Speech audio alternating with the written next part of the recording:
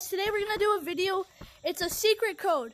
It's both the cauldron and flowers. My friend figured it out. Full credit to him. purple. I found He okay. He's a genius.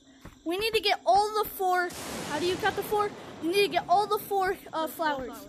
So you need red, yellow, green, and purple. and then purple.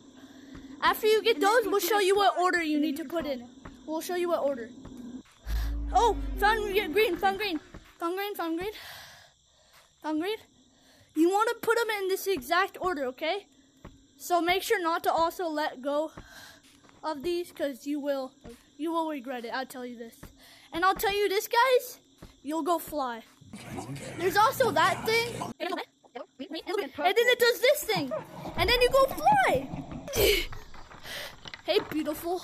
I'm actually big brain. I can't believe I figured Yo, full credit to dude. His channel.